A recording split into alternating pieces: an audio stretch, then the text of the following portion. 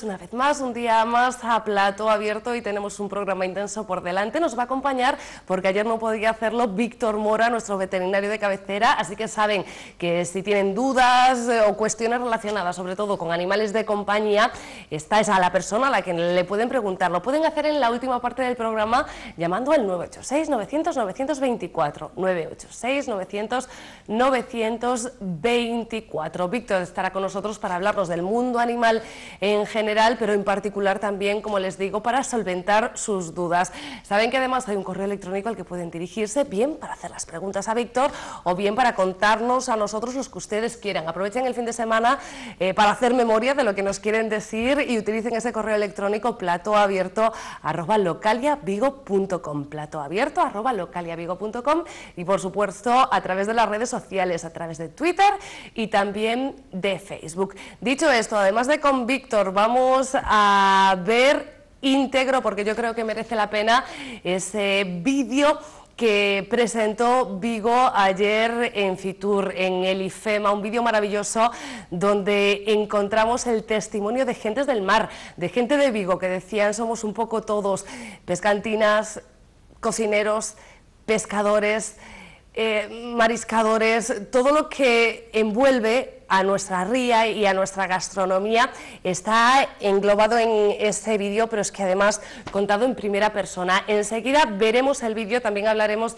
de nuevas iniciativas en torno a las Islas Cíes, pero antes quiero mm, acercarme al IFEBI. Lo hicimos ya hace unas semanas, les enseñábamos las imágenes de esa gran exposición de dinosaurios que acoge el recinto ferial de Vigo.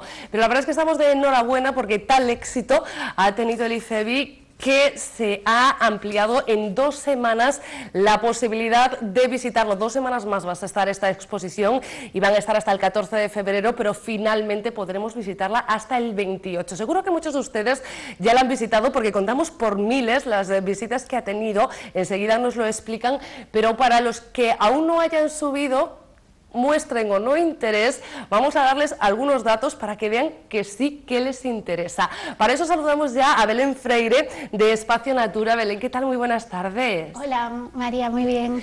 Decía yo que se cuentan por miles y ahora me nos dirás tú cuántos miles porque esto es lo que ha originado, entre otras cosas, que ampliéis el plazo. Sí, desde luego. Pues contamos superar ya los 40.000 que se dice pronto. ¿Llegabais con esas expectativas a Vigo? Sí, bueno, Vigo es un público agradecido y es nuestra ciudad, por supuesto. Bueno, que venía de Bilbao, la exposición recala aquí una ciudad además de público agradecido y vuestra ciudad es una ciudad que cada vez despierta más interés por los dinosaurios. Yo no sé si el dinoseto, incluso los dinosaurios que tenemos en las avenidas, eh, también ayuda a que se cree y se genere interés. También eh, bueno, yo creo que sobre todo para los más pequeños es una cita imprescindible porque ven auténticas maravillas. Claro, sí. Nosotros lo que pretendemos es que disfrute la familia. Está dedicado al niño, pero que disfruten también los padres. Para eso tenemos talleres talleres donde pintan los niños, desarrollan su imaginación, también tenemos talleres de chapas, que las crean ellos con los animales que le gustan, eh, tenemos eh, para estos carnavales que se va a abrir eh, los días 8, 9 y 10, de, de, 4 a 9 de la tarde, vamos a tener talleres también de maquillaje, donde se van a poder pintar la cara y bueno, disfrutar, que es lo que pretendemos nosotros. Estamos viendo, Belén, imágenes de esa exposición y importantísimo que los niños eh, se involucren a través de esos talleres, que ahora me hablarás de horarios y más, cómo es que tenemos que apuntarnos, pero me imagino que nada más ver esto, ellos ya quedan alucinados. Sí, la verdad es que a los niños les encanta. El T-Rex es, bueno, el preferido de todos, sin duda. Bueno, y creo que de los adultos también, ¿no? Porque, a ver, si hay dinosaurios por excelencia, este es uno de ellos, Jurassic Park seguramente ha hecho mucho de publicitario y mucho de marketing en todo este asunto, pero claro, es que son tremendos los tamaños. Vemos ahí la distancia en la que está el techo.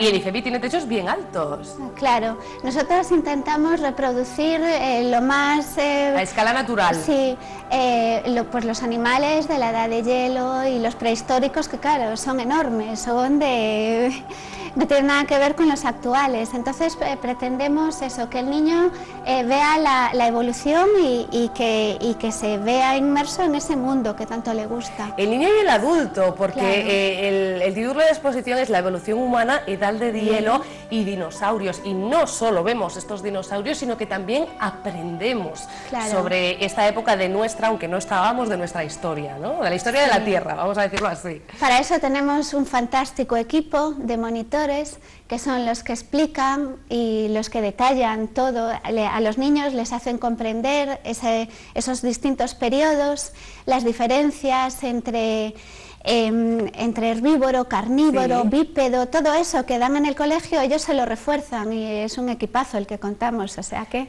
¿Para qué edades más o menos? Porque, por ejemplo, yo tengo a mi peque de tres años que le encantan los dinosaurios, él alucina al verlos ahí en el IFEBI, pero claro, seguramente que para, para aprender demasiadas eh, cosas, sobre todo sutilezas, es un poco pequeño. Entonces yo no sé si los talleres tienen una edad eh, recomendada y lo que te decía antes, ¿qué tenemos que hacer para apuntarnos?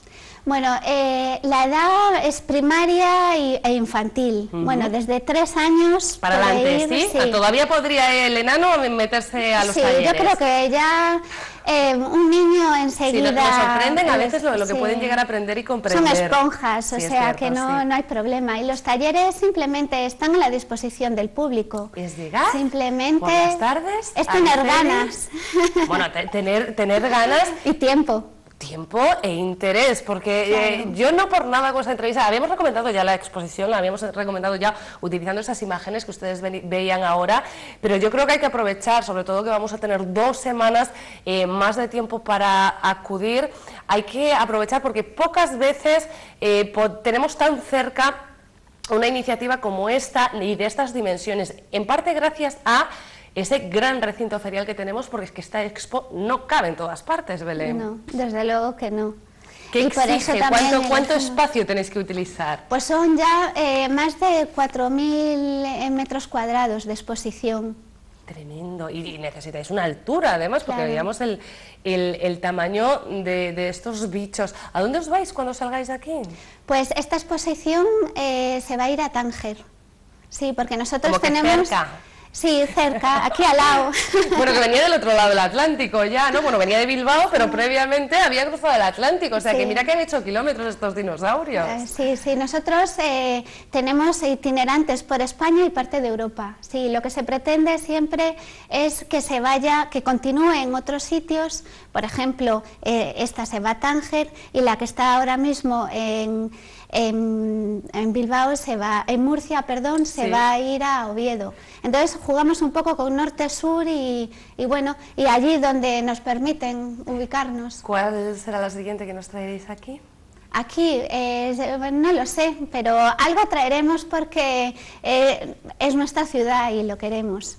Entonces, bueno, eh, también tenemos trabajamos con empresas muy significativas del otro lado de Charco que es, eh, por ejemplo, Agosín, que es una de las más importantes. y, con ellos tenemos Lights en Bilbao, que también está en el Palacio Euskalduna hasta el 14 de febrero. Y bueno, con ellos se pretenden traer también Transformers y otro tipo, pues siempre para niños, para que disfruten todos. Fantástico, la oferta para los más pequeños y fantástica sí es como esta, que no se trata solo de ver e impresionar, que sí, además nos encanta esas sonrisas que se forman en la cara de los niños, esa alucine que ellos muestran al momento sorprendidísimos cuando ven estos grandes dinosaurios, sino que además nos gustan estas ofertas también didácticas, en las que nos ayudan a todos, no solo a los más pequeños, a seguir aprendiendo. Tienen dos semanas más eh, a, partir del plazo inicial, a partir del 14 de febrero, tienen hasta el 28 de febrero para poder todavía visitar esta exposición. Belén Freire de Espacio Natura, muchísimas gracias por habernos venido a contar. Y a ustedes no se muevan de ahí, pues enseguida llega Víctor Mora, saben que tienen ese número de teléfono al que nos pueden llamar si tienen alguna consulta que hacer relacionada con el mundo animal, el 986-900-924. Ustedes se lo tienen que saber de memoria ya también.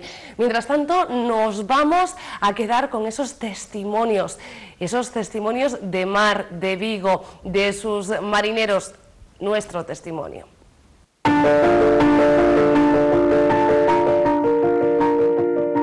Solía ir por, eh, con mi padre, o sea, siempre pescando aquí dentro de la ría. Después a los 15 años también con mi padre, pero ya al bonito. Mi abuelo fue marinero, mi abuela también era pescadera, mi padre fue marino mercante. La sangre salada.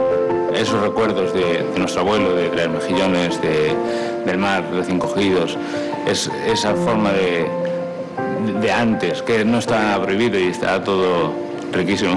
Y desde pequeñita mi madre ya nos llevaba pescado, de aquella nos llevaba centolla que iba tirada que nadie la quería, andaba por el suelo. Y llegaban a la playa con camarones, las nécoras, lo que era un poco chiquitito se quedaba.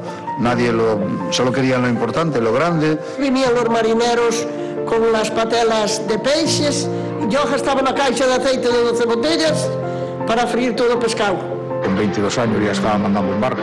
Después me hice capitán y en el año 72 me vine ya para barcos de gran altura, para aquí, para Vigo. La pesca de altura es un trabajo, eh, yo creo que excesivamente duro. Mi hijo mayor tenía un añito y cuando tenía tres años solamente lo viera 24 veces. Los brazos del sector pesquero eran enormes, se extendían como los tentáculos del pulpo por todo, por todo el océano, en bancos de, Sudáfrica, de, de Malvinas o de Groenlandia o de Terranova ese denominador común sería pues puros, ¿no? Ellos iban, era su sustento y ellos iban a pescar para vender y para vivir.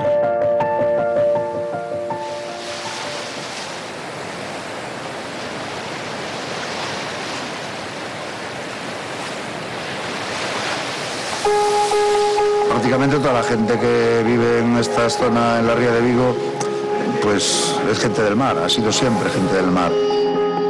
Nosotros tenemos ese privilegio de verlo cuando no hay nadie. Estamos ahí frente a una playa vacía, solitaria, donde los únicos turistas que hay son las gaviotas, que es su hábitat natural.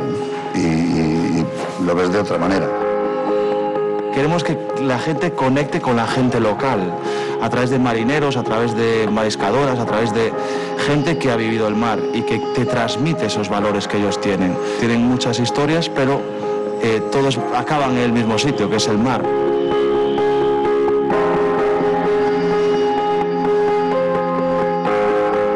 de Vigo, porque es especial.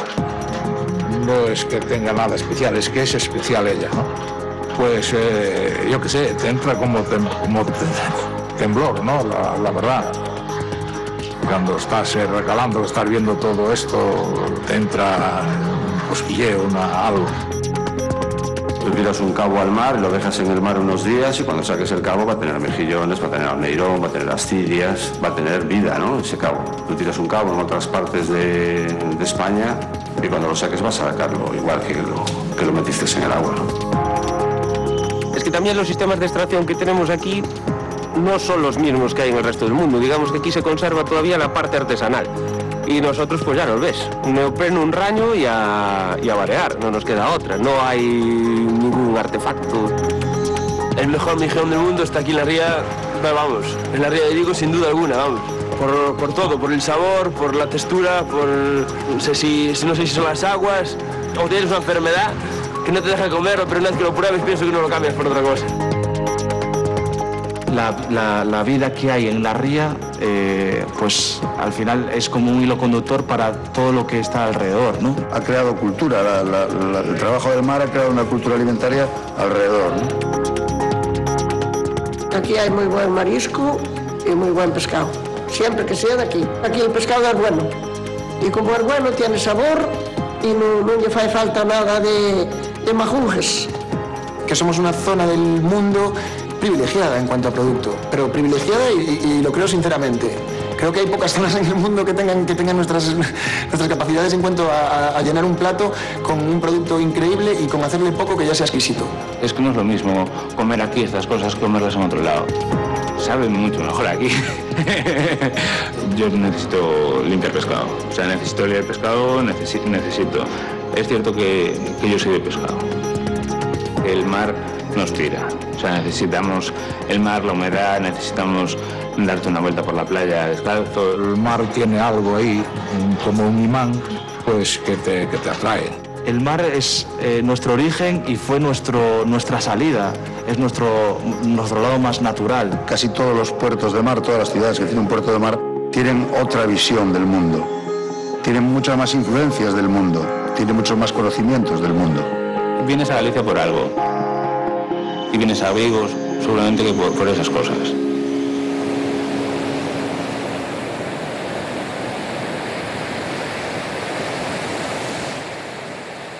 Fantástico este vídeo de presentación de las CIES, de nuestra gastronomía, de nuestra cultura, de nuestra gente que se proyectaba ayer en el ICEMA en Fitur, esa presentación que hacía el Ayuntamiento de Vigo para seguir promocionando la ciudad, la gastronomía y también para seguir ese camino ya comenzado para que las CIES se conviertan en patrimonio de la humanidad. Ahora explicaba hoy el alcalde de Vigo que da a ser un calendario y esperan en cuatro años poder tener esa proclamación, poder poder decir ya que esas CIES son patrimonio de la humanidad. Para ello, ese calendario intentará, eso sí, no pisar otras candidaturas que a nivel gallego también están intentando alcanzar esa denominación, pero van a continuar con la promoción. Ayer, como les digo, se hacía en CIES, se hacía pues a través de una presentación con este vídeo en el que también podíamos ver eh, algunos de los animales que poblaban CIES. Vamos a hablar de esto más la semana que viene, pero es que la promoción continúa y continúa ya este fin de semana, lo hará en las islas, allí mismo en las Islas Atlánticas, donde se van a juntar 11 mm, expertos internacionales en redes sociales, no sé si decirlo así, vamos a decirlo como lo decía el alcalde, 11 Instagramers, 11 personas que tienen cuentas de Instagram que entre todos, entre estos 11 tienen un millón y medio de seguidores. Van a hacer un certamen de dos días en las CIES, van a hacer visitas por las islas y también van a seguir degustando su gastronomía. La intención, pues que cuelguen esas fotografías que harán a través de Instagram, a través de las redes sociales y poder seguir promocionando las CIES, esta vez ya por todo el mundo. Oliver eh, Vegas es uno de esos Instagramers, dicen que es uno de los fotógrafos Instagramers con más prestigio a nivel internacional, pues que lo sepan, él en su Twitter ya está promocionando las TIES, parece que ayer no lo vi, pero parece que ayer estuvo también en Fitur y como no, se fijó en esa cita porque mañana y pasado lo tendremos aquí. Intentaremos la semana que viene, a ver si el martes hacer una recopilación de esas fotografías que surjan de esta cita para seguir promocionando es Una candidatura, además, a Patrimonio de la Humanidad que servirá para dos cosas. La primera, para promocionar Vigo, por supuesto, promocionar el turismo y que siga creciendo también en la ciudad el empleo en el sector servicios, pero muy al contrario de lo que se piensa a veces con la llegada de turistas, con la mayor protección de las islas, porque Víctor Mora, ¿qué tal? Muy buenas tardes. Buenas tardes, María, ¿qué tal? Aquí que se conviertan, decía, voy a acabar la frase, que se conviertan en patrimonio de la humanidad, me imagino que también supondrá una protección a más, ¿no? Porque, porque queremos que sigan siendo patrimonio. Pues sí, la verdad es que para nosotros y para todos los amantes de la naturaleza y de un sitio tan particular como CIES, eh, proteger un poco la flora y la fauna de este paisaje, eh, la verdad es que me parece increíble, es lo mejor que nos podía pasar y buenísimo para Vigo, ¿no? porque al final vamos a conseguir, como estás comentando tú a través de las redes sociales, un montón de, seguidores, un montón de visitas y un montón sobre todo de sensibilidad, ¿no? que la gente coja un poco, conozca mejor este paraíso que creo que debemos comentar un poco todos. La semana que viene, probablemente el jueves, vamos a ver cómo cuadramos fechas, eh, vamos a tener a un educador medioambiental eh, Gerardo Fernández, lo conocíamos ayer también en Fitur, de hecho intervenía en esa presentación que hacía el Ayuntamiento de Vigo yo creo que es el mayor experto eh, que hay en la fauna de CIES. Ayer, por ejemplo, nos hablaba de nutrias, nos hablaba de gaviotas, nos hablaba de los fondos marinos en Radio Vigo y realmente es increíble lo que sabe este hombre. Él eh, se centra además en CIES porque colabora con el Camino a Camiña y lleva a los visitantes a hacer tremendas eh, y, fantásticas, sobre todo interesantes caminatas, eh, recorridos por las CIES, pero imagino que también para ti, Víctor, eh, como veterinario, la variedad de fauna y sobre todo ese ecosistema que se sigue manteniendo en las islas tiene que ser un motivo de orgullo, ¿no? Pues sí, la verdad es que un espacio tan controlado como CIES y sobre todo lo que hablabas un poco que puedas ir paseando y encontrar tantas gaviotas que al final se han adaptado tan bien que estuvieron que tuvieron tantos problemas, pero ahora mismo con los vertederos o bueno, que ya ves que nos cuesta más controlar un poco su multiplicación, pero en sitios como CIES es otra cosa encontrarte nutrias o lo que dices tú, la belleza de esos fondos marinos es increíble. Me decía Víctor hace un rato, señores, porque, eh, bueno, a veces hay confusiones en esta vida. Dice, María, la semana que viene tenemos que hablar del DOGA. Y yo, y yo pensaba, del DOGA, porque a mí se me vino a la, mente el diario oficial de Galicia. ¿Qué, quiere este hombre que salga en el DOGA? Y no es eso, Víctor, adelántanos lo que es y ya la semana que viene hablaremos de ello. Contaremos la semana que viene porque esta semana precisamente ha sido noticia que se han juntado la mayor concentración de propietarios practicantes de yoga con sus perros y han organizado un encuentro de doga. doga. ¿Y doga es? Esa mezcla de yoga con tu perro. Bueno, yo no sé qué clase de perros tienen ustedes, pero los que yo he tenido a lo largo de mi vida no han sido demasiados, pero, pero han sido unos cuantos no creo que pudiesen practicar conmigo doga, es decir, el yoga practicado entre dueño y perro. Así que vamos a ver cómo hay que educar a estos animales para poder llegar a practicar yoga con ellos. Víctor se va a meter hasta el fondo de la materia y la semana que viene nos va a decir sí, os contaré porque está muy relacionado con terapias que hacemos y porque realmente es una buena forma de conectarte con tu perro y sobre todo para aquellos amantes del yoga que están tan conectados con su perro y consiguen practicar esta maravillosa disciplina con su mascota. Dicho esto, saben que aquí siempre con Víctor intentamos en la medida de lo posible ayudar a las protectoras, sobre todo la protectora de animales de Vigo, a buscar salida a esos pequeños perros eh, que por desgracia siguen inundando sus instalaciones. Bien, en este caso no nos referimos a la protectora de Vigo, aquí tenemos una foto que viene de la protectora Lena en Oporriño. Vamos a ver si conseguimos la fotografía yo les explico. Son dos perros que han sido recogidos eh, por la tarde-noche de ayer en el pabellón de Valladares. Se está buscando sus dueños.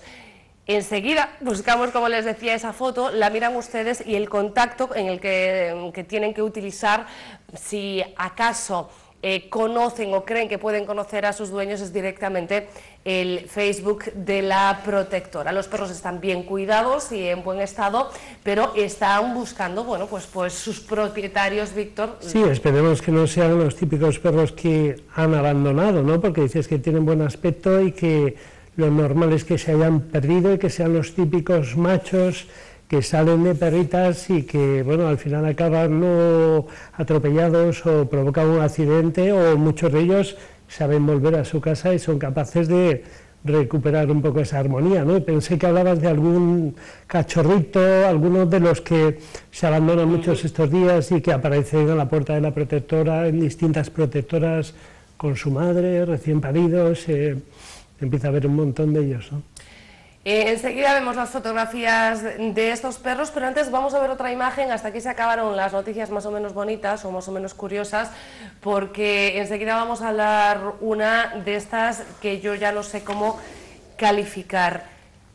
Ahí la tenemos, eh, es una noticia, ha salido en todos los medios de comunicación, pero en principio es una noticia extraída del periódico de, de Cataluña.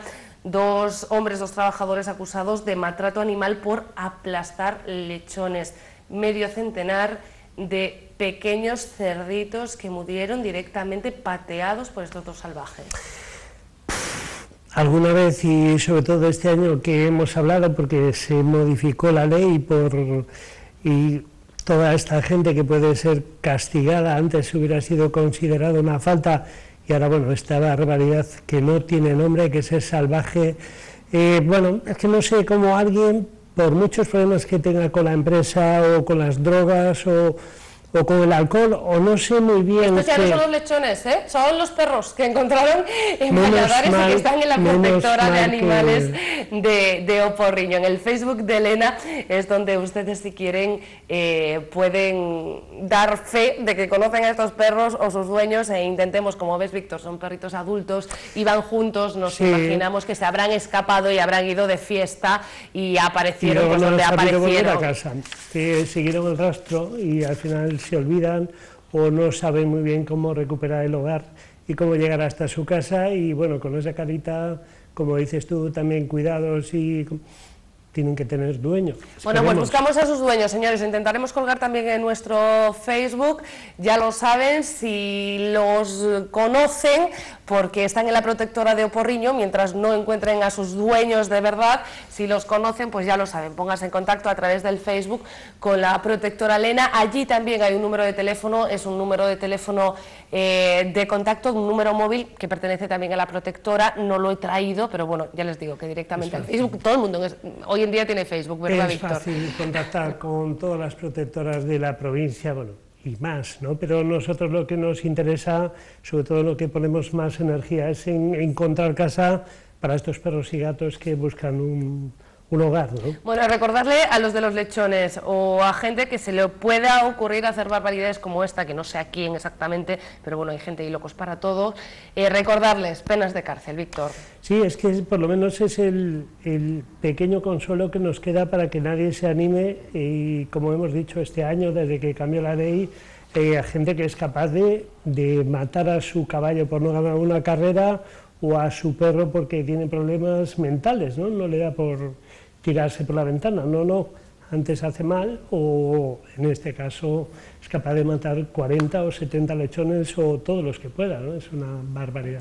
Es una auténtica barbaridad, me da pena acabar eh, con una noticia negativa, bueno, nos acabamos mejor con una previsión, que es que vamos a hablar del DOGA, del yoga con perros la semana, la semana que viene. Hasta entonces, eh, te emplazo Víctor. Sí, perfecto, muchas gracias. Muy buena semana, buen fin de semana para todos. Pues ya lo saben, yo lo mismo, buen fin de semana también para ustedes, que lo pasen bien, que disfruten del sol porque vamos a tener cielos despejados y temperaturas muy agradables durante todo este fin de semana, así que si les parece nos vemos más descansados, pero sonriendo igual la próxima semana. Un beso.